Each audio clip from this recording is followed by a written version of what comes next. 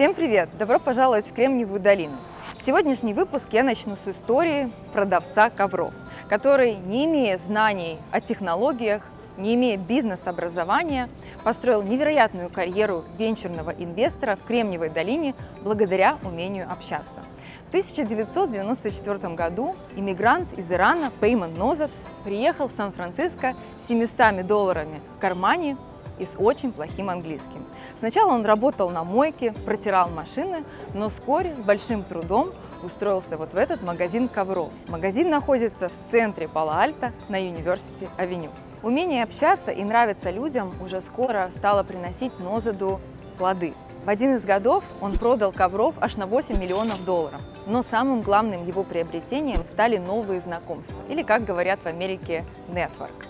Он представлял стартаперов и инвесторов и за знакомство получал благодарность. А уже через некоторое время а, Нозат открыл свой собственный фонд и стал инвестировать свои собственные деньги. Первой инвестицией Нозата стал стартап Danger. С основателем компании Энди Рубином он познакомился после того, как продал ему персидский ковер за 5000 долларов. Рубин рассказал о Danger. Нозет почти ничего не понял, но был невероятно впечатлен самим Рубином, который затем создал мобильную операционную систему Android. Я бы инвестировал деньги в этого парня, даже если бы он продавал надувные шарики. Если он чего-то хочет, он этого добьется, сказал Нозет. Спустя 8 лет Microsoft заплатил за Danger 500 миллионов долларов. Не зря говорят, что самая главная валюта Кремниевой долины – это нетворкинг. Я бы сказала, что здесь есть две лучшие школы нетворкинга. Это самый известный бизнес-акселератор Y Combinator и, конечно же, Стэнфордский университет.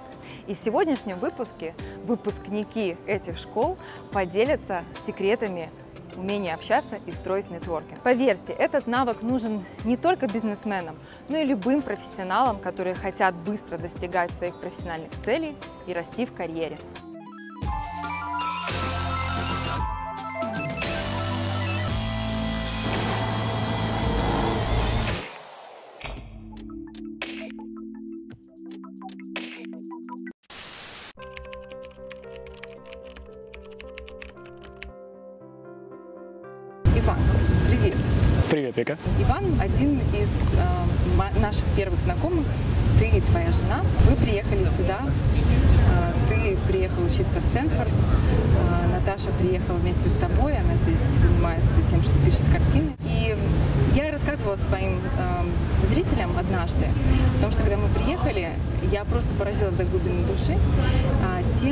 Насколько вы целеустремленные, причем вдвоем, а, и тем, как правильно и как по-другому, в отличие от нас, вы подходили к своему переезду и вообще к построению какого-то нетворкинга. Именно поэтому первым, а, о ком я подумала, когда стала готовить выпуск про нетворкинг, это о тебе. Расскажи вкратце о своей истории. Я э, родился в городе Тюмень. Э, это Западная Сибирь, если кто не знает. И провел там большую часть своего, не знаю, детства и подросткового возраста. Я закончил университет. И после этого довольно много путешествовал по стране, по России. То есть мы с женой пожили э, в Туле, в Москве, в Новосибирске. И делал я это все по работе. Я работал в компании Дубльгиз, или известной в европейской части э, страны как 2GIS. Это такая смесь между Google и Yelp, если местными американскими терминами говорить. И э, работая в этой компании, я помогал строить большую сеть франчайзи-партнеров, которая для меня началась с трех городов, закончилась 16. И это самая крупная сеть франчайзи-партнеров 2GIS до сих пор. И, наверное, не знаю, как сейчас точно цифрами, но примерно одна шестая бизнеса Дубльгиз в России. И разъезжая по городам и странам, точнее городам и городам, если говорить про Россию. Мы меняли разные места жительства, но все это время у меня была цель. Я хотел поступить э, в бизнес-школу в Стэнфорде. К тому времени я уже закончил MBA в России, это было в Академии народного хозяйства в 2010 году. И как только я закончил MBA в России, я сразу захотел э, идти дальше. Я примерно раз в пять лет заметил по опыту получая какое-то более-менее фундаментальное образование, какой-то делаю следующий э, шаг в развитии собственных навыков. И вот буквально только я закончил, я на самом деле мучился с этим дипломным проектом очень сильно. И уже думал, ну все, нет, больше никогда. Прошла неделя, я начал искать, типа, что дальше. И вот нашел Стэнфорд, и все это время я к этому шел. То есть все эти пять лет, которые я работал, с одной стороны, работал, много работал, разъезжал по стране, я все время готовился как бы к тому, чтобы поступить в Стэнфорд, потому что это очень непростая задача. И вот э, мечта осуществилась. В в конце 2014 года я узнал, что меня приняли на программу, магистрскую программу э, в Стэнфордской школе бизнеса на один год. И я должен буду в летом 2015 года поехать учиться. С тех пор мы здесь. То есть на текущий момент это уже вот только-только фактически исполнилось, наверное, пять лет, как мы находимся э, в этой стране, в этом, в этом регионе. Я совершенно случайно вспомнила о том, что ты ведешь группу Y Combinator, и, в общем-то, даешь много советов о том, а, как пройти Y Combinator. А, ты здесь занимаешься развитием своей компании. Расскажи еще, чем, э, чем ты занимаешься, расскажи вкратце о себе. Меня зовут Иван. А, я предприниматель, делаю компанию, которая называется Valarm. Занимаемся безопасностью приложений, защитой от взломов компаний, больших и маленьких, преимущественно больших, для того, чтобы хакеры не могли пройти через интернет и вытащить данные этих самых компаний. По поводу YC in Russian, да, это группа, тут немножко неправильно сказать, что я ее веду, скорее я ее начал. Начал для того, чтобы люди, которые русскоговорящие попадают в Y Combinator, помогали людям туда попадать. Это такая у нас преемственность и giving back to the community. И концепция всей этой истории а, не в том, чтобы помогать людям проходить в IC, а чтобы помогать людям попадать в IT. Потому что, чтобы попасть в IT, нужно написать заявку, пройти интервью. Ну, для начала надо сделать компанию еще, да. И очень много компаний хороших не могут попасть, потому что неправильно пишут заявку или не могут нормально пройти интервью. Много работы – это очень хорошо. Чувствую, что наш проект по релокейту IT-специалистов в США по-настоящему нужен людям. Радует, что мы растем качественно. Мы разработали много решений, которые помогают получить визу в США и устроиться на работу в топовые IT-компании Кремниевой долины. Но и количественно мы тоже очень сильно выросли за время карантина. Когда все поняли, что О1 – это единственная виза, которую иммиграционная служба оставила в этом году, к нам пришло пришло много новых клиентов. И мы этому, конечно же, очень рады. Большинство наших клиентов по-прежнему разработчики, но мы также работаем с дизайнерами, менеджерами проектов и продукта, QA-инженерами, дата-сайентистами. И для того, чтобы не только разработчики чувствовали себя желанными в нашей компании, мы решили провести ребрендинг. Теперь проект по релокейту в США называется All Citizens. И если вы хотите оценить ваши шансы на O1 визу, то я буду рада сделать это лично на звонке. Как записаться на звонок, вы найдете на нашем сайте. А прямая ссылка на наш сайт уже ждет вас в описании к этому видео. А мы, All Citizens, ждем IT-специалистов, которые хотят начать карьеру в США. Ты из тех людей, которые все-таки продумывают свою жизнь, продумывают свою карьеру. И когда ты решил, что ты хочешь поступить в Стэнфорд, как ты считал, для чего это нужно твоей карьере? Что это даст? Я не знаю, правильно сказать, это цель или нет, потому что это была, на мой взгляд, смесь рационального и все-таки некой как бы такой эмоциональной привязанности к этому месту, хотя я не был никогда здесь. Я не, до того, как я решил поступать в Стэнфорд, никогда не был даже в Америке. Но э, из рационального это было стремление научиться, как вести бизнес э, по всему миру. И для этого мне нужна была, наверное, просто какая-то иностранная бизнес-школа. Но бизнес-школ как бы много разных есть, и разных, э, много хороших есть, я так скажу, есть плохие, конечно, но есть много хороших, но они все немножко между собой отличаются. И у Стэнфорда есть несколько отличий, которые меня очень сильно привлекали. Это э, очень сильная предпринимательская направленность, прежде всего. Имеется в виду это во многих отношениях. То есть с точки зрения того, кто преподает, какие курсы ты можешь взять, как много предпринимателей выходит из этой школы. И эта предпринимательская направленность мне очень нравилась, э, потому что всю жизнь моя карьера строилась, наверное, по принципу между менеджментом и предпринимательством. Я как занимался своим бизнесом, так и управлял чужими бизнесами, но всегда был очень близок к роли предпринимателя, либо, ну вот, я говорю, либо напрямую, либо нет. И мне эта культура меня всегда очень манила. Потом я хотел развивать бизнес за границей, и, наконец, мне э, очень нравилась идея Калифорнии. То есть мне нравилось, что Стэнфорд находится в Калифорнии. У меня, наверное, были какие-то детские мечты. А, я как-то себе представлял, никогда не был в Калифорнии, но как бы я представлял себе, как это будет, и мне все это сочетание очень нравилось. И как бы даже до того, как я узнал и много прочитал про Стэнфорд, я понял, что это просто место, где я хочу быть. Вот это, наверное, та эмоциональная сторона, да, то есть я как бы почувствовал почему-то вот читая про эту школу, что это как бы это мое. Когда я готовился к поступлению, есть несколько больших этапов. Э, это экзамены и сам пакет поступления, application, который включает там заполнение различных форм, эссе, и прочее, и прочее. И считается в практиках западных бизнес-школ, наверное, может быть, и восточных тоже, что тебе очень неплохо разобраться в этой школе, возможно, поговорить с кем-то из выпускников. И та программа, на которую я хотел поступить, это MSX она называется, Master of Science for Experienced Leaders. И эта программа имела, э, каждый раз, каждый год имеет, до сих пор имеет список всех студентов вот текущего курса. И когда я зашел просто начал смотреть на людей, я нашел человека с удивительно русским именем. Его звали Сергей Пацко. И я решил попробовать написать ему, хотя с точки зрения ментальности, которая у меня была в России, это как бы не совсем естественно. То есть не то, чтобы я стеснялся выходить на людей, но с другой стороны все равно не было такого, что ты не знаешь человека, ты ему пишешь. И я написал ему, и он мне ответил, причем очень быстро ответил, и мы с ним созвонились, и я поговорил про программу, и это мне придало реально сил. Я в это время занимался этим applications, очень много просто работы и очень много сомнений в себе, как бы, как бы как правильно все эти эссе написать. И мне это очень здорово помогло, как с точки зрения фактической информации, так и с точки зрения уверенности в себе, да, вот этой вот как бы незримой части, которая в любом случае тебе очень нужна. И этот же человек стал первым с точки зрения социального общения, с кем мы вот в Калифорнии встретились. Это было еще не в июне, когда мы приехали, совсем уже переехали, а это было в апреле, когда мы ездили на так называемый orientation. Orientation — это когда все студенты, почти все студенты будущего класса приезжают, некоторые из них еще не решили, при, при, будут ли они принимать приглашение от Стэнфорда или нет. Они приезжают в Калифорнию, несколько дней, программа, школа рассказывает о себе, ты знакомишься с одноклассниками и так далее. Безусловно, я познакомился с одноклассниками, это было в апреле. И это было немного перебор, потому что там 90 человек, новых людей, английский язык. Я на английском никогда не разговаривал регулярно профессиональной деятельности. То есть это было как бы тяжело.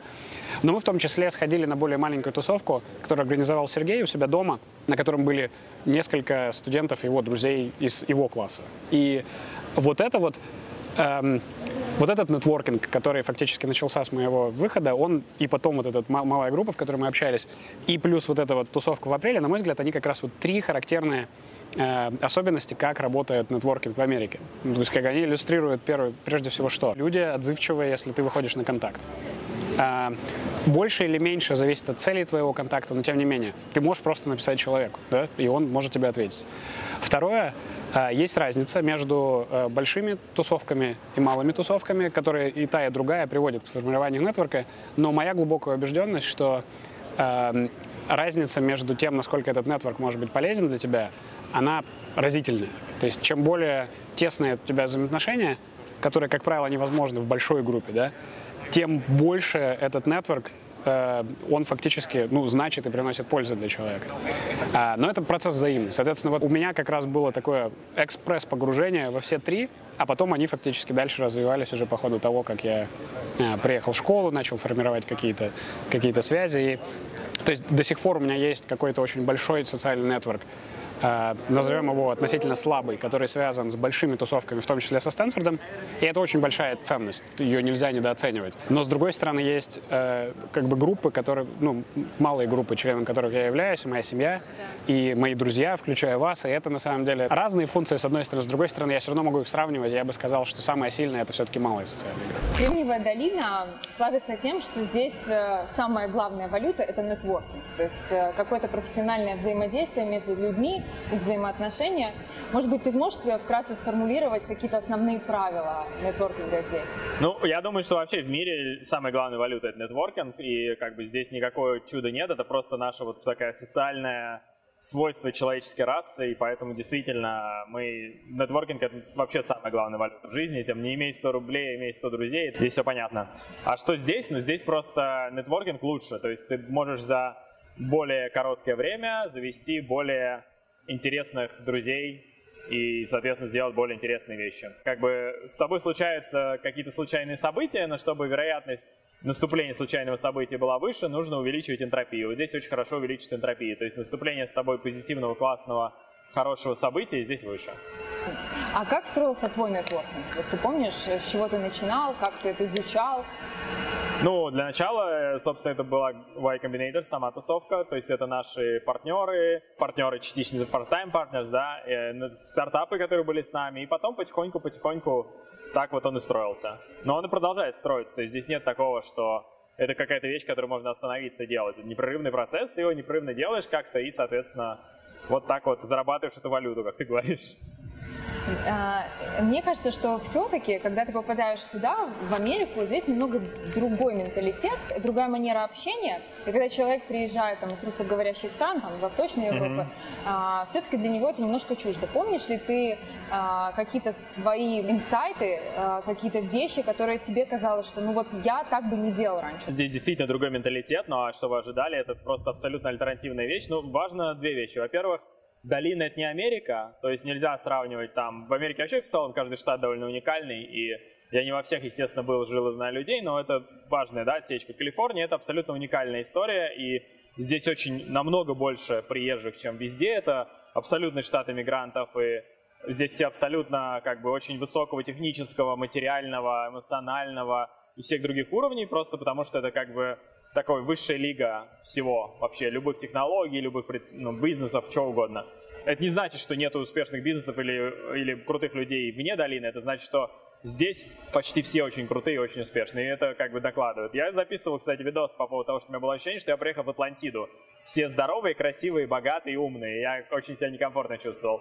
По поводу манеры общения, ну, есть две вещи. Во-первых, менталитет э, языковой чисто. Здесь люди больше как бы привыкли общаться в манере там какой-то вот этого смолтолка, который нужен, чтобы на самом деле, как я сейчас понял, просто акцент понять и понять вообще, кто человек, откуда и как с ним дальше диалог строить. Но с другой стороны, это же просто слова, и это такие вводные слова нужно так принимать.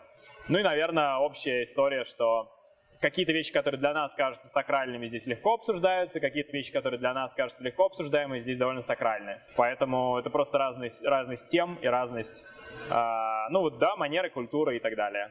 Свободы в обществе и так далее. Я знаю, что часто в университет а, поступают отчасти, потому что как раз-таки обзавестись вот этим нужным, полезным нетворком. Потому что эти те люди, с которыми ты проходил определенные челленджи, и ну, они тебя узнают лучше и не боятся потом а, тебе как бы помогать, ты в том числе. А, а как вообще в Стэнфорде к этому относятся? Что говорят? Чему-то учат вот как раз-таки приобретению профессиональных связей? Обязательно. То есть вообще надо, наверное, начать с того, что мы уже обсудили, разные школы разные. И есть э, школы, э, у которых много выпускников, большие, да, университеты, а есть школы, у которых не так много выпускников. Они обе могут быть, например, обе категории могут быть очень классные школы. Например, в Гарвард выпускает больше студентов, чем Стэнфорд в разы. Даже бизнес-школа сама. Это, на мой взгляд, как по этой функции, которую мы уже обсудили, да, создает э, как бы как закономерность своего рода, что чем уже группа, тем более она сплоченная. Соответственно, Стэнфорд, например, с точки зрения нетворка, на мой взгляд, один из самых сильных университетов. Безусловно, это не только размер, но еще и какие-то культурные нормы, как они, как они вообще передаются. Например, у меня был преподаватель, который в конце своего... Вот у него был курс, курс был про э, финансовую сторону венчурного капитализма. Он сам венчурный капиталист, он рассказывал, как все это работает, но последнюю свою лекцию он посвятил вопросу, который к венчурному капитализму как бы не имел особого отношения. Он говорил не про VC, он говорил о том, что вот вы сейчас выпускаетесь, и вы становитесь молодыми выпускниками. Вот были студенты, вы станете молодыми выпускниками, а есть старые какие-то выпускники, которые выпустились за, заранее. А, есть следующее правило, которое я бы хотел, чтобы вы запомнили. И он рассказывал их несколько, я их все не помню сейчас досконально, но я уловил одну простую мысль. Когда тебе пишет выпускник, отвечай. Отвечай как можно быстрее, принимай звонок, принимай запрос о помощи, что бы это ни было. Типа, делай это сразу. Второе, никогда не, никогда не позволяй им платить за кофе. Э, это так, по фану, но а, он говорил о том, что большинство выпускников, которые только, или студентов, когда они вам пишут, э, они сейчас студенты, вы вспомните, как это было тяжело, в том числе с материальной точки зрения.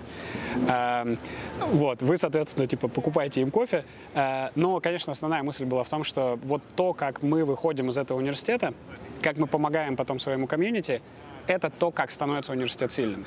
Да, у нас может быть э, типа сильные преподаватели, вы можете обзавестись какими-то типа конкретно связями, которые вам прямо сейчас полезны, но на самом деле вся ценность университета, она потом придет с годами, и придет, когда вы будете взаимодействовать с людьми, которые либо сейчас учатся, либо сейчас учатся, либо которые закончили, все вот эти поколения выпускников. А я уважал, он классный преподаватель был, я его очень люблю, и, конечно, ну, авторитетный для меня. И я согласен был морально с тем, что он говорит. Плюс вот этот опыт, который у меня был с Сергеем Пацко, когда он ответил на мой запрос. Сейчас, всякий раз, когда ко мне обращаются люди, которые, например, хотят поступить на мою программу, я всегда отвечаю. То есть вот как бы у меня просто завело... На самом деле я, скорее всего, отвечу любому выпускнику Стэнфорда, который мне напишет. А, просто чаще пишут люди, которые, например, из России, они видят там мое, не знаю, славянское лицо или, или мое, э, мое имя. Но, э, безусловно, мой, в целом, моя в целом установка такая. И Стэнфорд, он, конечно, как бы учит техническим вещам, например, как происходит вот этот вот нетворкинг на мероприятиях, да, целая большая категория, по сути, спиддейтинг. Все люди собираются, и там нужно быстро-быстро там всеми познакомиться, нужно кратко научиться про себя говорить. У нас были там какие-то своего рода даже практикумы, я не знаю, как правильно их называть. На тренинг они не тянули по своей комплексности, но практикумы, когда мы тренировались, говорить вот этот elevator pitch, это очень кратко рассказать про себя там и так далее. Эм, узнать про другого, задать какие-то вопросы. Но техническая сторона, методология, ну, как не знаем, тактики, да, она, на мой взгляд, не столь важна, сколько вот философия и идеология, которую Стэнфорд очень сильно, конечно, как бы накладывает. И э, начиная с первого дня, когда делаются первые презентации, когда ты приучаешься к мысли, что ты сейчас получаешь там только часть пользы. Да ты и платишь только часть сейчас, потому что они там есть такое даже выражение, что pay half now, half later что означает, что ты, по сути, будешь поддерживать свой университет, в том числе материально, donation сделать там, и так далее, потом еще годы спустя. И очень много чего построено в Стэнфорде, построено на деньги выпускников.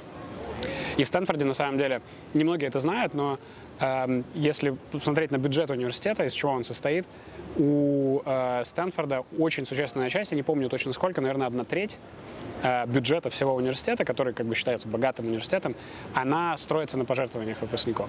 И это, соответственно, тоже все про нетворк. То есть, соответственно, да, Стэнфорд один из самых э, сильных университетов, и не случайно, а потому что они активно это продвигают. Я помню, ты брал класс очень популярный, который, мне кажется, взрывает всем мозг, не знаю, расскажешь об этом, Тачи Фили. Это, не, может быть, не очень относится к нетворку, но расскажи, что именно тебе там так запомнилось? Я помню, какой ты вдохновленный, как ты много об этом рассказывал. Да, Тачи Фили действительно сугубо стэнфордский опыт, который большинство студентов бизнес-школы стараются взять для себя. Э, это на самом деле не столь даже курс с удовольствием, это тяжелая работа. Э, устроен он довольно просто. У тебя группа из 12 человек. И эта группа из 12 человек собирается регулярно раз в неделю на общегрупповую дискуссию. Э, это бы, вот, это можно сказать, как некая группа психологической не знаю, поддержки, с одной стороны, с другой стороны, это группа, в которой люди собираются поговорить на очень серьезные темы. Есть два фасилитатора, которые ведут эту дискуссию. И э, люди, что называется, берут риск. Э, они рассказывают про себя, они делятся обратной связью с другим, кто рассказывает про себя, позволяют себе иногда высказать, например, там, негативную обратную связь, покритиковать или э, попробовать человека, что называется, зачалленджить, чтобы, ну, типа, как бы призвать его высказываться еще более откровенно, брать больше риск. То есть как вот в такой динамике проходят многие э, группы, очень много домашней работы, когда ты читаешь какую-то часть там теории, делаешь практические задания, оцениваешь себя, пишешь дневник, оцениваешь как-то там других своих э, ну, участников этой группы. И все заканчивается так называемым ретрит, который, по сути, это два там с половиной дня, как бы вот ежед, уже каждый целый день люди занимаются на выезде, вдали от своих семей и так далее. Это очень серьезный с точки зрения эмоциональной вовлеченности опыт, который э, в итоге приводит к тому, что ну, ты узнаешь очень много о людях вокруг, узнаешь очень много о себе. И, наверное, он, возвращаясь к вопросу про малые и большие группы, наверное, является вот такой своего рода квинтэссенцией как формируется действительно сплоченный нетворк. Вот как люди, которые, которые были в моей группе, она называется T-групп, те, кто из, них, кто, кто из них остался до сих пор в долине, мы встречаемся периодически, и я чувствую с ними, конечно, гораздо больше близости, чем, например, в целом с классом, да, с моим или еще как-то. То есть, потому что мы вместе много чего пережили. Твоя компания попала сразу в Y Combinator, да? А, это бизнес-акселератор, в котором, ну, определенно прививают какие-то правила, делятся нетворкингом. Расскажи, чему они учили, как у них э, устроено все. Да, ну YC, про него можно в целом долго говорить, как бы э, есть вот все инкубаторы в мире и YC. YC это абсолютно отдельная такая штука, которая там по количеству стартапов, которые из него вышли, стали большими и хорошими компаниями вне конкуренции там на несколько порядков. Это действительно очень важно. А, там, там был Dropbox, там был Airbnb, там была куча других компаний, которые там можно только себе представить. И поэтому это другой уровень совершенно. Что происходит внутри? Ну тут, ну, опять же, мыслью по древу не растекаясь, это программа, которая а, построена на Самое ценное в этой программе – это возможность общаться с партнерами, которые сами построили какие-то компании или очень долго работали в каких-то больших компаниях, но обычно все-таки предприниматели, с которыми можно делать, по сути, личные встречи, которые называются office hours. И на этих office hours ты можешь обсуждать любые темы, которые тебя волнуют, они проходят либо, ну сейчас все онлайн, тогда были или по звонку, или лично, можно было встречаться лично, они тебе как-то помогают, спрашивают какие-то вещи, просишь совет, просишь какие-то действия, с кем-то знакомят и так далее. По сути, вот это так безусловный нетворк, который у тебя автоматически получается, и это такой вот а, как они сами себя называют, шоткат. Особенно, когда ты прилетаешь из непонятной как откуда, тебя никто не знает в долине, неважно, из, из Алабамы ты прилетел или из России, не так принципиально. Это твой шоткат на этот нетворк. И это, соответственно, большая-большая группа людей вокруг. Они принимают автоматически тебя как своего, потому что в IC это еще шильдик, очень важный шильдик, который действительно принимается. И как бы и за счет этого ты работаешь более э, раскрепощенно с людьми и получаешь от них то, что, наверное, просто так сложно от них получить, а именно ценный совет или какое-то полезное действие. Может быть, у тебя есть каких-то пару примеров, когда нетворкинг тебе или твоим друзьям очень сильно помог? Вот ты там стучался, стучался в закрытые двери, а потом оказалось, что вот кто-то из твоего нетворка... Ну, мы занимаемся безопасностью, нам сделали, например, там на одной из первых встреч э, знакомство с командой безопасности Dropbox. Мы бы вряд ли бы до нее быстро дошли как-то. Ну, то есть дошли бы, наверное, но здесь очень быстро было. И такого очень много. То есть, э, ну, как бы, да, вот такая история. Это не то, что, то есть, я не пытаюсь рассказать, что без этого нельзя, или не пытаюсь рассказать, что это какая-то сильвербада, да, священная, как серебряная пуля. Это просто один из вариантов, и если он работает для тебя, то он работает хорошо. Он также может для тебя не работать, это нормально. Ну, то есть, как, как любой инструмент, нужно применять его правильно, и мы, может быть, не очень правильно применяли, что-то не поняли вначале и так далее. Угу. Вот. Ну, вот если посмотреть на долину, да, то она действительно построена каких-то... Эм... Посмотри на долину. Вон ну, она, да. где-то там. Она построена из, например, Стэнфорд, у них есть свой нетворк. Понятно, что вся долина, там каждый человек строит свой нетворк, да. но есть Стэнфорд, есть Y Combinator, не знаю, есть еще другие акселераторы, есть Google, есть Amazon, да. и это все тоже какие-то нетворки. Угу. Как э, человеку, который не попадает в нетворк, ну то есть, вот, заложим, там, да. приезжает неважно, программист, э, да. и он не попадает сразу в крупную компанию, или предприниматель, да. не в акселератор, да. университет, а как ему строить свой нетворк? Что такое клуб? Любая группа людей с одинаковыми интересами. У тебя есть группа интересов в IC, у тебя есть группа интересов сотрудников Google, у тебя есть группа интересов людей, которые, например, делают, не знаю, а, не знаю играют в шахматы, клуб там людей, которые говорят на русском языке и так далее, и так далее, и так далее, ты все равно в какие-то клубы попадаешь автоматически. Там, опять же, женщины-предприниматели, женщины там разработчики и так далее, и так далее. Любые вообще атрибуты, это все какие-то клубы. Почему это происходит? Это естественная кластеризация людей, где ты не можешь обслуживать свои прямые связи peer-to-peer. То есть, как бы в России там в два раза меньше населения, или даже меньше, и там а, там, в 40 раз меньше бизнес-активных людей. В итоге там у тебя просто гораздо меньше связи, да? Ты можешь все свои связи обслужить, здесь нет, и поэтому тебе приходится подключаться к клубам. Ты автоматически попадаешь, как переходить из клуба в клуб. Находить людей, которые есть в твоем клубе, которые есть в других клубах, и, соответственно, туда приходить. Это так работает. То есть там понятно, что общаясь с людьми из YC долго-долго-долго, вероятность тебя попасть в YC тоже выше. Так же, как и Стэнфорд и, другой, и другие клубы. Есть два типа как бы клубов. Они, все клубы отличаются порогом вхождения. Где-то порог вхождения это деньги, например, там ты можешь быть э, гольф популярно играть, платить за это там, до миллиона долларов в год за членство, и понятно, что это отсечка, да, это какой-то порог вхождения. Где-то это рекомендации, где-то это, например, чтобы попасть в шахматный клуб, нужно хорошо играть в шахматы, то есть не, не можешь купить знания, это никак, да. Ну, то есть вот такие вещи. А, ну и все, я писал про это прям большое видео с систематизацией, как это работает. Ну и дальше как бы что нужно знать, что а, ты всегда подключен к каким-то клубам, и ты дальше по ним начинаешь двигаться. Что еще про клуб важно, что э, как бы тебя сразу снизу начинает тащить в середину. То есть клуб это такая вещь, где ты быстро оказываешься на какой-то средней температуре. Если ты уже выше, ты начинаешь отдавать немножко ниже и как бы тащить людей, которые только попали чуть-чуть вверх, отдавая им назад в это же самое комьюнити или в клуб, да. Вот и вся механика. То есть все просто. Ничего такого. Да, э, про долину как раз ты, ты говоришь о том, что вот ты отдаешь, то есть это какая-то такая органическая история. Но все-таки ты сейчас уже фактически отдаешь, да? Ну, где-то берешь, где-то отдаешь. Ну, это непрерывный процесс, ты всегда где-то даешь, где-то отдаешь, то есть там, не знаю, где-то, не знаю, даже когда ты приезжаешь, у тебя есть какой-то набор знаний.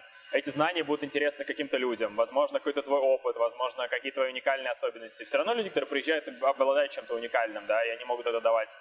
А за это они что-то назад получают. Но это не транзакционная вещь, что ты мне, я тебе. Это как-то естественно, лаконично получается. Ты сам понимаешь быстро, как работают вещи, и помогая там людям здесь, совершенно независимые люди здесь, тебе дают, ну или там просто они дают. То есть это не, не транзакционная модель. Я знаю, что есть в долине такое выражение, э, что network – это основная value Можешь привести примеры из жизни, как тебе помог, помог твой network вот уже тогда, когда ты выпустился, когда ты э, стал работать именно в профессиональной твоей жизни? Да, это отличный вопрос, и мне кажется, э, я супер согласен с тем, что network это, конечно, основная валюта. Э, мне он помог э, прямым образом и прям много раз, можно так сказать. То есть вообще, например, начнем с того, что сразу после школы я начал заниматься э, своей бизнес-идеей вместе с э, партнером, моим кофаундером. Э, ты, наверное, тоже его знаешь. Он, кстати, делал интервью с ним. Когда ты решил, что станешь программистом? Когда мне было пять лет. Дан, да. И э, мы с Даном работали над, над своей стартап-идеей. Э, Миша даже нам помогал. И, э, то есть, у меня до сих пор фотографии недавно всплывали, как мы сидели там э, в один из выходных. Э, и во время этой работы ну, что нужно делать стартапу? Нужно находить потенциальных клиентов, нужно находить потенциальных инвесторов. Я практически исключительно использовал Стэнфордскую сетку, начиная с того, что я брал идею, которая в классе была, как бы родилась в классе, а у меня был ментором мой профессор, и потом я выходил через знакомые на потенциальных инвесторов, какие-то акселераторы, там, инкубаторы.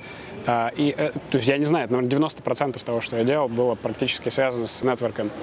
А через какое-то время эту э, бизнес-идею мы решили оставить, и переключ... я переключился на работу на стартап, который я нашел по знакомству. Это тоже, была как бы какая-то социальная тусовка, на которой я познакомился с человеком, которому я потом сообщил, что я, в общем, ищу какую-то проектную работу. В рамках того, как я занимаюсь своим стартапом, ищу проектную работу, он переслал мое сообщение своему знакомому, и так я встретился с э, стартапом Tracer, в котором я вот э, с тех пор, с ноября 2016 года, и работаю, помогая со всем, что связано с клиентами, со стратегией, там, с go-to-market стратегией и так далее. С тех пор, вот как только присоединился к компании, самое первое, чем мы занялись, это исследование рынка. Ну, это как бы звучит как маркетинг. Мы делали конкретно кучу интервью, э, которые имели побочную цель, типа продать, попробовать продать, да, и получить обратную связь. В общем, вот такого рода исследования мы делали. И это исследование э, состояло, как мы поставили минимальную задачу, там набрать 30 человек, и выходили мы через свои социальные, опять же, как бы связи. Кто-то какие-то кон- контакты компания уже смогла заполучить, но большинство контактов пришло через мою стэнфордскую сетку, которую я просто искал людей, на, есть такая директория, в которой все выпускники, я, можно по каким-то ключевым словам искать людей, и потом я им просто писал со своего адреса выпускника, который видно, что там stanford.edu, alumni.stanford.edu, и я им писал и говорил, у меня написано было в теме письма, что типа это запрос а, типа о помощи там со стороны студи- выпускника recent типа Stanford graduate.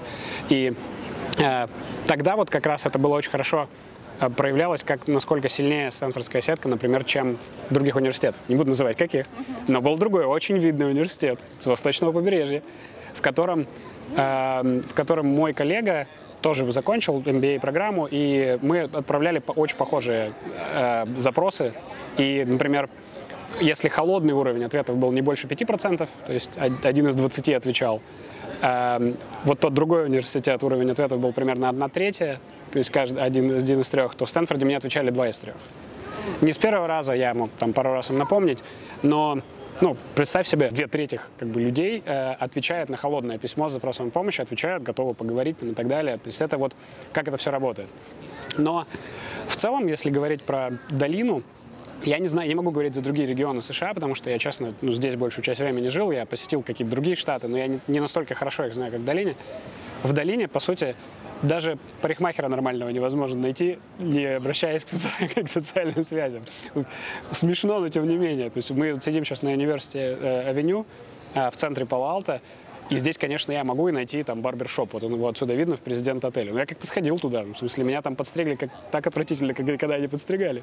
С постсоветскими корнями кажется немножко странно. Здесь это все-таки как бы скорее норма жизни, э, потому что люди строят вместе бизнесы, находят работу, находят бизнес-партнеров, находят себе, я не знаю, вторые половины.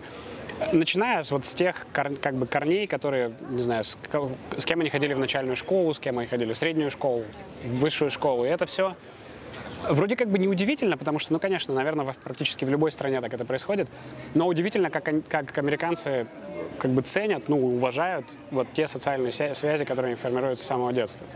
И я, конечно, вот сейчас у меня сын ходит, только закончил начальную школу, ходит, э, переходит сейчас в среднюю школу.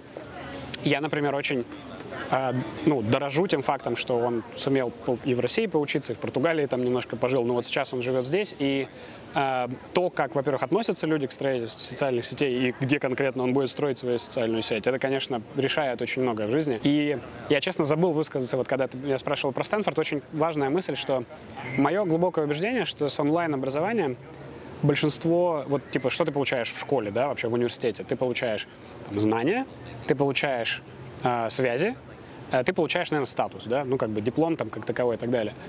На мой взгляд, э, очень тяжело большинству вузов будет конкурировать с онлайн-образованием, например, по знаниям.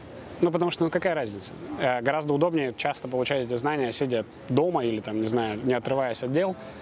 Но, на мой взгляд, топовые университеты, включая Стэнфорд, они, они, на мой взгляд, сохранят очень долго, я не знаю, насколько, возможно, навсегда свою позицию как бы, ну, на вершине вот в этой системе образования, если, если за счет чего-то, за счет чего-то, то за счет нетворка. И в этом отношении, наверное, поэтому они такие дорогие, так тяжело в них попасть, потому что ты получаешь гораздо больше, чем просто диплом или просто знания. Конечно, это тоже помогает, безусловно, а, но этот нетворк, если ты правильно можешь его развивать, о чем мы, наверное, отдельно поговорим, это просто не, не, как бы непередаваемая и очень сложно просчитываемая э, как бы выгода. Э, как-то недавно, я не помню имена, но был человек, который э, публиковал, по-моему, на LinkedIn или в Facebook сообщение о том, как он поступил там в Стэнфорд и решил не идти. И он рассказывал исключительно экономическую по сторону о том, как вот он решил, посчитал, как у него будет возврат инвестиций и, например, как может подняться его зарплата после того, как он поступит в Стэнфорд и закончит Стэнфорд по сравнению с тем, сколько он потратит денег, в том числе упущенные возможности. Вообще, наверное, как бы очень логично, он был по-моему, менеджмент-консультант, то есть он все логично рассчитал как бы с точки зрения этого. Но мне кажется, мысль, которую здесь многие люди упускают, что ты зачастую возвращаешь свои инвестиции в образование не, не совсем прямолинейным образом, конкретно, например, увеличением зарплаты. Это тоже происходит, но тем не менее, это, например, когда ты работаешь на компанию, да, ты можешь найти какую-то сделку, которая будет там, не знаю, самой большой сделкой там в твоей карьере и которая позволит сделать тебе э, кучу бонусов или э, повыситься по карьерной лестнице.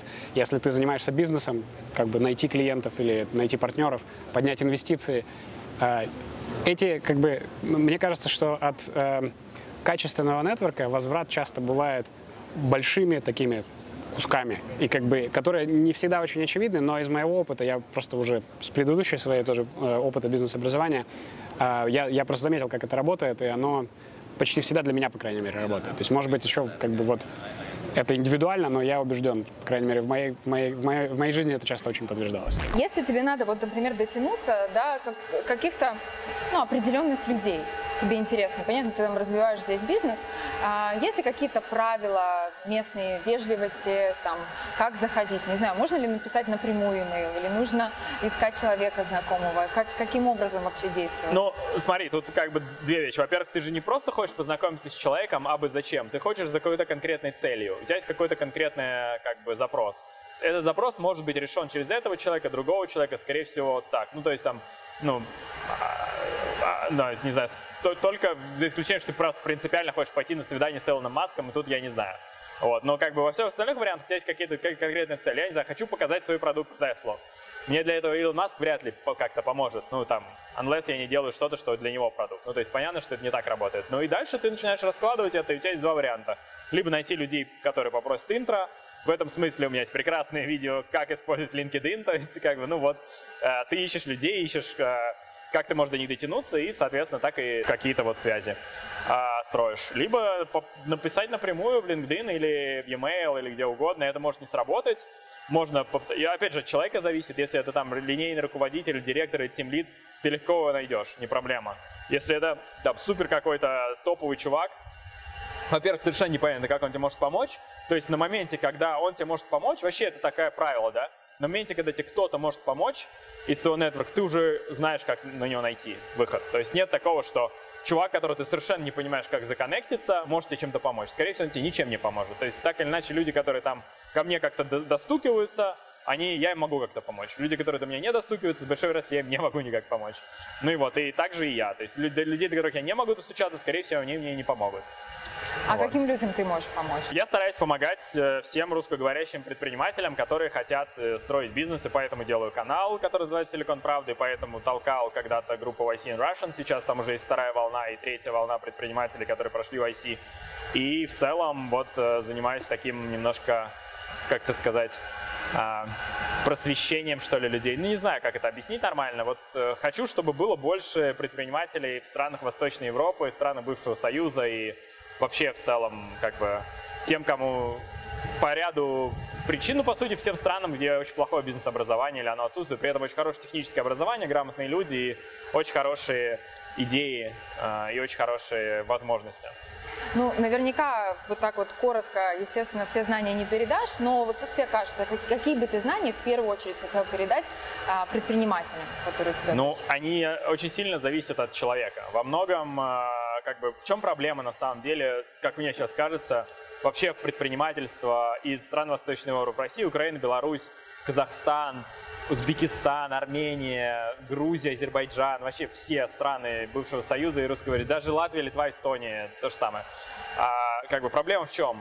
Очень сильная а, нетерпимость к неуспеху, нетерпимость к неудачам и а, среда, где, ну, во-первых, потому что действительно бизнесом в советское время считалось заниматься плохо, а потом, а, собственно, сейчас проблема в том, что ну, не, люди не терпят, не любят неудач. То есть, когда что-то случается не так, бизнес это всегда про пробы и ошибки, это всегда про даже ошибки больше, чем успех, да, и нужно быстро понять, что окей, это не работает, попробуй что-то еще. Очень сильное негативное восприятие, очень много вот этого такого буллинга условно или каких-то других негативных вещей от социума, и вот это самое важное. То есть надо перебороть эту историю, понять, что даже если вы выросли в системе, где а, за любую ошибку там и за любое твое падение тебя над тобой будут смеяться люди, которые вообще ничего не пробуют, это не значит, что здесь так. Здесь абсолютно нормально, здесь абсолютно нормально раскрыться и рассказывать про свои ошибки, тебе будут помогать или там э, давать какие-то полезные советы или помогать делом или что, но главное, что ты пробуешь.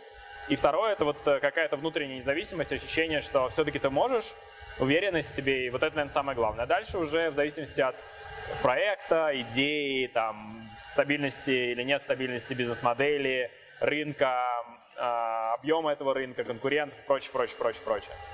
А, вот да, про ошибки я слышала от многих людей о том, что здесь такая культура ошибаться, действительно относиться к этому как к опыту, а не к ошибкам. А, если ты открыт, расскажи о каких-то своих ошибках. Да, ну, во-первых, надо сразу отметить, что не здесь культура, а в целом это абсолютно нормальное свойство человека. То есть мы как бы биоробот, у нас есть нейронная сеть, нейронная сеть учится, потому что она ошибается, и, соответственно, нам нужно какие-то выводы делать. Какие-то выводы мы можем сделать из мысленных экспериментов, мне не нужно там попасть под самосвал, чтобы понять, что это плохо, но какие-то нужно сделать. И это абсолютно нормально, естественно и физиологично, это важно понять. Это не потому, что в Америке любят ошибаться или не любят ошибаться, это наша физиология. И как бы я готов за это отстаивать. Мои ошибки, да слушай, ну много. Мне кажется, я ну, и в блоге про это пишу, и тут как бы, ну, чего только не было. Ну, во-первых, э, поздно переехали в долину, поздно вообще стали работать с американским рынком именно вот как нужно было с ним работать, то есть непрерывно здесь находиться, общаться с людьми. То есть я не знал английский нормально, это тоже отдельно большая проблема, я переезжал почти без... Э, э, то есть я не мог на слух понимать, что люди говорят, мне пришлось тратить время, и где-то уже после YC сильно, когда уехал э, мой партнер Степа в Россию получать визу, я остался здесь один, только тогда у меня начался разговор, но я прокачался очень быстро за какое-то время. Это тоже большая проблема. Невозможно выучить язык с учителем, ну или я не могу. И вообще я плохо обучаюсь. А вот, это тоже такая ошибка. Ну, много ошибок всяких разных, как бы, что только не делали. А, знаешь, как вот, а, ошибка это не, не успех, ошибка это не поражение, ошибка это не неудача, ошибка это не фейл, да, вот это просто то, что ты можешь исправить. А удача, неудача, успех, неуспех, это ты себя сам определяешь. То есть в момент, когда ты скажешь, окей, я там этот проект закончил, все, здесь ставим точку, можно уже посчитать материально там, эмоционально, успешно это или неуспешно. И тогда понять. Но пока ты это тащишь, пока ты это делаешь, а, как бы тут нету никакого стопа. Но это немножко не про ошибки, но все равно очень полезная как бы история. Мы и вы уже здесь живем 5 лет. И я уже рассказывала как-то своим зрителям, без называния имен, но наконец-таки вот я своих зрителей могу с тобой познакомить, о том, что когда мы вас встретили, меня поразило, насколько, ну вот у тебя была безумно насыщенная учеба. А, очень уста...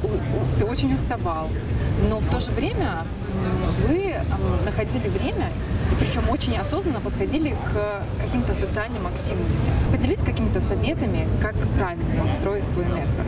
Попробую выделить какие-то основные моменты, и мы с тобой можем потом углубиться в какой-то из них, в зависимости от того, как тебе покажется, насколько это полезно аудитории. Строительство нетворка. Ну, во-первых, я Эм, я не сторонник никакого хакинга с точки зрения строительства нетворка. Э, разные люди разные подходы предпочитают. Я считаю, что невозможно хакнуть социальные, социальные свои связи. Эм, что это значит? Нету быстрых э, типа решений, которые сразу как бы там все проблемы у тебя решают. То есть, на мой взгляд, нетворк, он дает тебе сколько ты инвестируешь. И инвестируешь, подинвестируешь, я имею в виду, что если ты ожидаешь от своего нетворка помощи, ты должен в него загружать свою помощь. То есть если ты рассчитываешь, что люди тебе в чем-то помогут, ты должен помогать людям.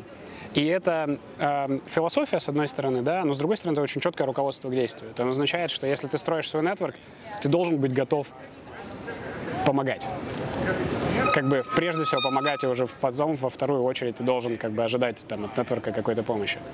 А второе, я э, как уже сказал, я считаю, что нетворк самый сильный, который в итоге приносит самую большую пользу, это, это малые социальные группы. Поэтому нужно, конечно, очень э, ну, приоритизировать малые социальные группы, и это не обязательно должно быть бизнес-интересы. Вот, например, э, для меня, это, возможно, в этом отношении я там не самый как раз хороший пример нетворкинга, может быть, можно лучше, да, но я вот, например, люблю Э, общаться с людьми, с которыми мне приятно общаться, с друзьями со своими. И это зачастую не имеет ничего общего с э, какими-то бизнес-интересами.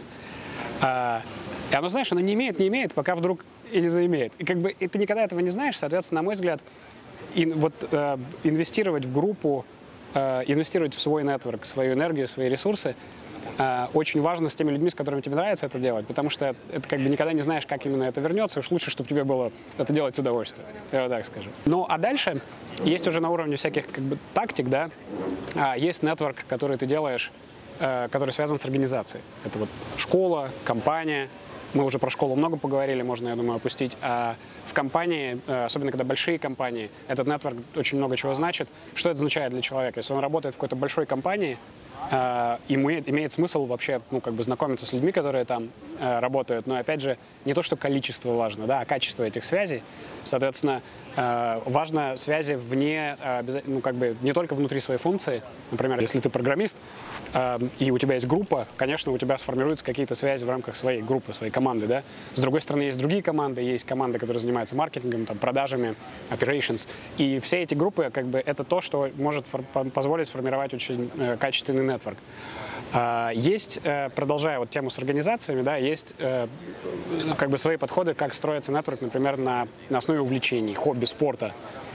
Одни из самых сильных, например, до сих пор моих связей, моих, там, не знаю, дружеских или бизнесовых, это люди, с которыми я занимался спортом. А ты занимаешься очень многими видами спорта. Они периодически меняются, самые главные, которые выходят, да, на, на передний план, но э, Возможно, это про то же самое, что когда ты как бы занимаешься чем-то, что тебе очень нравится, ты вместе сопереживаешь, вот как мы про те-группу говорили, сопереживаешь какие-то э, большие как бы эмоции, чувства.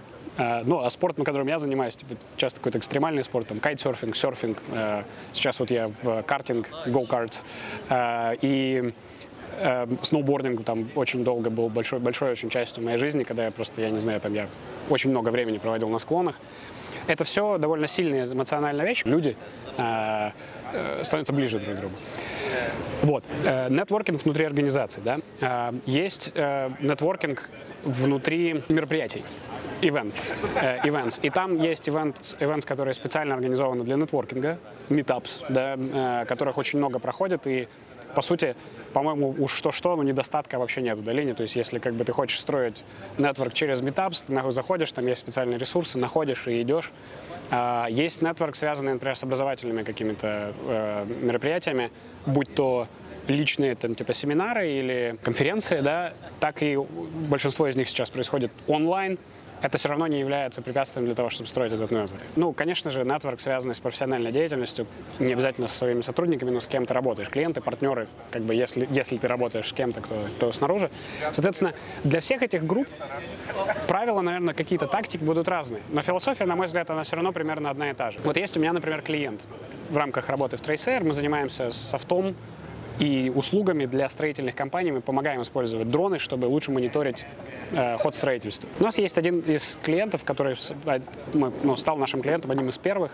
И в этой компании, это компания, которая занимается земляными работами, э, у них есть человек, который отвечает за все field operations. Он VP of operations, и у него очень богатая история. Он, наверное, за всю свою карьеру переместил больше 400 миллионов кубических ярдов э, земли. В смысле, ну это просто с ума, с ума сойти можно. Они как бы реально это очень серьезная операция. И он начинал свою карьеру с э, того, что он был оператором, с того, что он там стал э, прорабом, ну и, и так далее, и так далее. То есть сам создал свою э, всю эту э, структуру. Э, один из самых ближайших наших клиентов, но с другой стороны, его зовут Рон. Я обожаю этого человека. Он, как бы, я считаю его своим другом, как бы это странно ни казалось. И, э, но это действительно проявляется в том, что он, например, нас звал, мы там ездили, в том числе с семьей, с моим, моей женой, с моим ребенком, мы ездили к нему домой. Мы там купались в его бассейне, делали там какое-то, не знаю, сосиски вместе. Или мы э, очень много времени провели в бизнес-командировках, но когда мы там вместе летали куда-то и так далее. А, и, на мой взгляд, принцип-то какой? Мы говорили, возвращаясь к этой мысли, о том, что а, тактики могут быть разные, а философия, наверное, все равно одна. Ты инвестируешь в отношения, чтобы они приносили тебе как бы выгоду. Ты э, делаешь это с людьми, с которыми тебе приятно это делать, и это очень сложно, ну, как бы фальшивить в этом вопросе. То есть тебе, тебе нравятся люди, ты им помогаешь. И в ответ этот человек я не могу передать. Он, наверное, был лучшим как бы продажником нашей компании, которую только можно представить, потому что он нас направо и налево всех рекомендовал. Один раз, представляешь, он поехал э, по, по нашей просьбе, он поехал э, на встречу с потенциальным клиентом, другим, ком, как другой компанией, которая занимается земляными работами, в Южную Калифорнию. Ему лететь пришлось с нами. По сути, конкуренту. Они даже, на самом деле, иногда вместе ну, борются за какие-то заказы. И он поехал ну, от чистого сердца, потому что он верил в то, что мы делаем это хорошо, что мы хорошие люди, наверное. Вот. Да. Вот. Но я вот о чем и говорю, что вот это как бы... Вот он один человек, да, я, наверное, не могу сказать, что у меня таких 200, там, 300 или 500. Но от одного такого человека и от того, как ты строишь с ним взаимоотношения, конечно, по ходу жизни будет происходить там ну, много и много хороших вещей. И, конечно, когда мы можем помочь, то есть я вообще с удовольствием пользуюсь первой возможностью это делать. Я вот э, вижу, что русскоязычные люди, да, которые здесь приезжают, да. они, конечно, ну, тоже образовывают свой нетворк и очень плотный. А насколько легко с американцами образовать такой же нетворк профессиональный? Слушай, ну совсем легко. Первый совет всем, кто приезжает вообще в любое новое для себя окружение, не общай, и где не говорят на русском, не общайтесь э, с русскоговорящими. Вы все равно их узнаете, все равно вы будете с ними общаться. Избегайте этого умышленно, потому что вы очень быстро пойдете в какую-то шелуху, кожу, в такую зону комфорта, где ничего не будет происходить, скорее всего. Но очень маловероятно. Вы не для этого переезжаете, да, то есть нужно из этого выходить. Это не просто, и я тоже этим болею, и, конечно, вот мы сидим, общаемся на русском, все понятно. Но это то, что нужно делать, то, к чему нужно стремиться, и это как бы строить. Когда я, собственно, учил язык и понимал, что все уже надо делать, я старался знакомиться с пятью новыми людьми в неделю, когда не, э, не выполнял, значит, свой этот э, KPI, я шел просто вот в бар, который еще тогда был открыт, и просто сидел в баре, общался с людьми хоть как. Ну, потому что я знал, что чё, кто меня осудит, я просто чувак случайный. В целом, у меня столько историй прикольных, я, конечно, половину из них не могу рассказать, но как бы на пальцах объясню. Было прикольно, и набирал вот этот вот э, базу, какие-то сработали, какие-то нет. А сейчас, э, поскольку весь онлайн, у меня такой же KPI на LinkedIn, но сейчас это уже там по 5 звонков в день, то есть, то есть у меня действительно бывают звонки, когда 5 новых людей, которых я никогда не видел, мы с ними общаемся. Да, часть из них могут быть абсолютно бессмысленные, но, во-первых, опять же говорю, я практикуюсь, проверяю, учусь лучше фильтровать людей, учусь онлайн работать с людьми. Поэтому совет, э, как бы, просто все в ваших руках, особенно сейчас, когда все онлайн, люди еще охотнее онлайн общаются э, фигачьте. Даже не надо здесь находиться сейчас. Э, да. А вот ты говоришь, что у тебя получается сейчас лучше распознавать людей, да, там на какие-то свои... Э, какие... Да не знаю, стараюсь. Есть какие-то секреты, советы, как, э, какие вопросы ты людям задаешь? Слушай, ну это, опять же, от каких людей? Я в основном-то ищу людей мне интересных по бизнесу, поэтому там есть свои какие-то критерии. В целом, ну посмотрите, чтобы у человека был хороший профиль.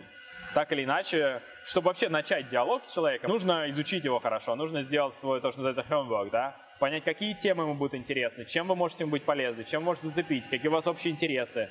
И это, это касается инвесторов, касается бизнес-партнеров, всех-всех-всех. И, ну, в целом можно и на свидание так ходить, мне кажется, тоже не лишними будет. И когда вы лучше это понимаете, вы действительно, у вас больше тем для диалога, и у вас лучше получается строить отношения, коммуникации, и с таким образом, как бы, вот, вот и весь секрет. Ресечить и смотреть профиль, понимать, чем человек интересен и так далее. Сейчас онлайн э, только все растет, соответственно, и растут бизнесы по этому поводу, и очень много возможностей делать это онлайн, просто не гнушайтесь. Мы не умеем общаться в целом, не только там русскоговорящие, не только там вообще все люди плохо общаются. Чем лучше вы общаетесь, тем больше вы зарабатываете да, на этом, потому что, как мы сказали выше, собственно, капитал и валюта — это всегда нетворк, всегда друзья и всегда общение. И здесь ничего нового не изменилось, никакая долина — это просто естественные физиологичные свойства. Вот и все. Хотелось бы тебя спросить о каких-то более узких рекомендациях именно для людей, которые приезжают из русскоязычного пространства. Mm. Может быть, есть какие-то типичные ошибки или для тебя какие-то открытия, которые ты э, понимаешь, что это просто вот говорил тебе твой менталитет, и здесь ты как-то подумал, стал думать по-другому? Отличный вопрос. Начну с довольно как бы прямолинейного и довольно банального. А, во-первых, в России не пользуются LinkedIn, да, и не пользуются, потому что он там запрещен, и потому что культуры такой нет. Конечно, нужно освоить LinkedIn, и это наверняка, я думаю, что многие люди, с которыми ты разговариваешь, дают эту рекомендацию. Я от себя добавлю кое-что, как я, например, использую LinkedIn. А, ну, во-первых, LinkedIn надо заполнить профиль. Как бы заполнить его хорошо и заполнить все секции, которые LinkedIn рекомендует. Они не просто так там существуют. А, нужно заполнить маленькое summary, там большое summary, перечислить свои работы, желательно добавить какие-то детали про работу, желательно выложить какие-то ссылочки, например, на презентации или видео, не обязательно про себя, но про компанию, чтобы было понятно, как бы, чем человек занимается. Э, это как, вот, не знаю, встречаются э, собаки, например, на прогулке, и они друг друга нюхают. У них такой способ познания мира. Вот в Америке, по крайней мере, я думаю, что на самом деле во многом, в многих странах западного мира люди точно так же, когда встречаются, они начинают смотреть друг друга на LinkedIn. В общем, э, в этом отношении мой совет, конечно, будь как бы типа добрый, инвестируй время в том, чтобы твой LinkedIn профиль показывал тебя с той стороны, с которой ты хочешь, и чтобы людям стало понятно, потому что во многом что мешает, мне кажется, многим людям, которые приезжают из других стран, например, из постсоветского пространства в Америку, что их профиль может быть, они вообще могут быть непонятны. Они могут непонятно говорить, но это поправляется, да, там, учишь язык, опыт, все такое. Но когда ты особенно только начинаешь, важно, чтобы вот этот вот процесс, когда у человека срабатывает система свой-чужой, ты хотя бы не мешал человеку тебя понять. Соответственно, LinkedIn очень сильно помогает. Еще от себя добавлю, что есть разные подходы, например, добавлять всех там на LinkedIn без разбора. Ты добавляешь, тебе отправляют запрос, ты добавляешь. Я, например, считаю, что так не надо делать. И э, логика моя основана на том, что я ожидаю, что если человек в моей группе, например, в моей сет, сетке в профессиональной в LinkedIn, то я в любой момент могу получить запрос от другого своего знакомого, который спросит меня что-нибудь про этого человека. Попросит, например, он будет устраиваться на работу, как меня спросит, что я думаю про этого человека. Или э, они захотят связаться, попросят меня представление. Да? Я и мне очень э, некомфортна мысль, что когда меня будут спрашивать про человека, а я про него ничего не знаю. Соответственно, я не добавляю людей в LinkedIn. Которых я не знаю. За очень редким исключением, э, но э, этот принцип позволяет держать в итоге сетку как бы, ну, э, очень релевантной, давай так скажем. Другой момент про практические советы, да, очень важно осознавать, что в Америке принято делать все через теплое представление, warm introduction. И эти warm introduction часто происходят через e-mail. Это часто происходит по принципу э, типа посмотрел друг друга на LinkedIn, видишь, что есть общий знакомый какой-то человек, и ты говоришь, представь меня, пожалуйста, тому человеку. Это происходит регулярно, э, это нормально, нужно к этому привыкнуть, научиться делать самому эти запросы и отвечать на запросы других людей, соединять людей. Да? Это очень важный вклад в социальную сетку. Э, базовое простое правило делать double opt-in интро, что называется. Когда тебя просят кого-то познакомить, спроси у другого человека, хочет ли он этого знакомства. И это в деловой культуре Америки. Меня, например, это научил человек, как-то, которым я в ходе работы над своим стартапом эм, познакомился, мне очень понравилось, и мне потом я познакомился с другим человеком. Мне показалось, что их идеи очень похожи, они прям должны познакомиться друг с другом, и я их познакомил. А он мне в ответ прислал информацию о том, что, знаешь, Иван, Типа, а вообще вот у нас принято вот так. И ссылку на какую-то статью про double, opt-in- о- о double, double opt-in intro было очень стыдно. Но, с другой стороны, как бы очень правильно и очень хорошо меня научило. Запомнил. Зато запомнил, да, все верно. Я очень благодарен ему, на самом деле, за то, что он так сделал. И вот, ну, соответственно, принцип как бы introductions, тут, наверное, два совета, да, это обязательно вовлекаться в такого рода взаимоотношения, представлять людей друг другу и, конечно же, э, делать double opt-in. Ну, третий, наверное, практический совет – это эм, не забывать практически на автомате добавлять людей, которых, с которыми ты познакомился, в LinkedIn. А, И это позволит э, сетку растить. Можно даже использовать количество число контактов в LinkedIn как своего рода метрику. То есть я, например, это делал в свое время. У LinkedIn есть, эм, э, есть так, как бы, такие как бы, э, уровни, когда, например, до 500 они тебе показывают штуками, а свыше 500 они начинают тебе показывать свыше 500 там, или свыше 1000 какими-то такими категориями. Для меня, например, большой был, ну, типа такой, жирная цель, да, это дойти до 500, что было отражением, ну, как бы моих усилий, это помогало мне не забывать, например, добавлять людей, опять же, которых я знаю, потому что другой принцип, да, что ты их знаешь. А, добавлять друзей, ну, друзей, а, начать коллег, где-то даже если ты, например, работаешь где-нибудь там в России или в Беларуси или в Украине, и у тебя есть своя какая-то социальная сетка, и кто-то пользуется LinkedIn, начать с них, добавить их, а, сделать профиль хороший. Когда начинаешь общаться с людьми здесь, познакомиться. Следующий момент, э, посещая вебинары, эм, я, например, один раз был на вебинаре, на котором было, ну, это была панель, да, не- несколько человек было, и мне понравилось, как один из панелистов разговаривал.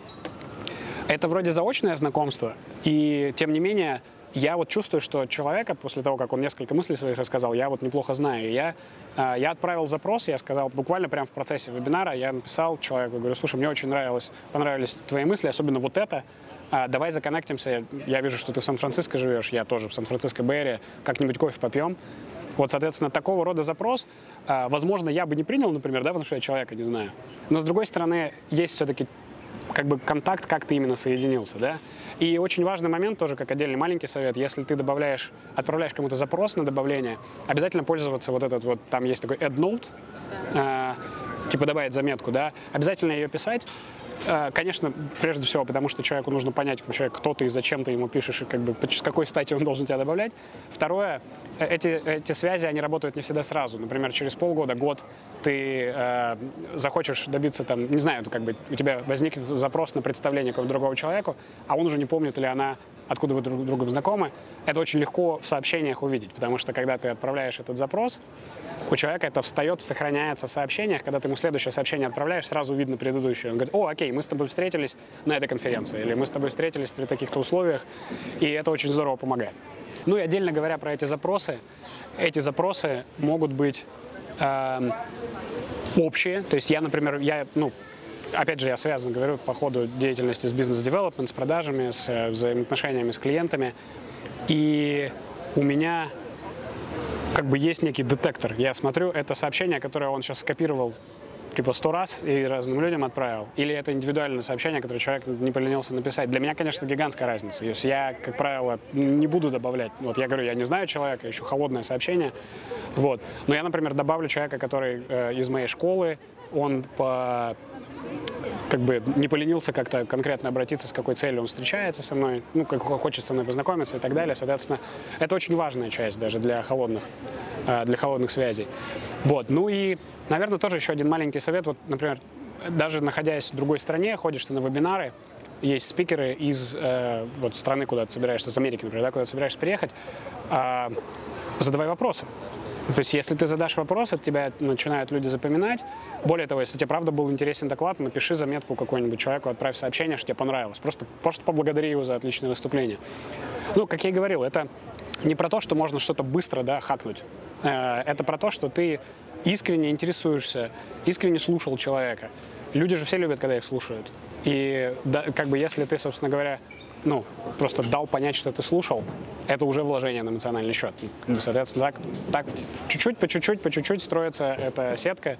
И, конечно, ну, людям, которые переезжают сюда, как я, как вы, как многие, видимо, э, твои зрители, либо уже сделали, либо планируют, э, у нас отчасти, конечно, менее привилегированное положение, чем у людей, которые ходили в школу в там вместе, да, там и так далее. Безусловно, нам очень тяжело догонять, но эм, э, это как бы этот сложный путь, который гораздо легче проходить, если ты проходишь, ну, думая и инвестируя в развитие, ну, в свою социальную сеть.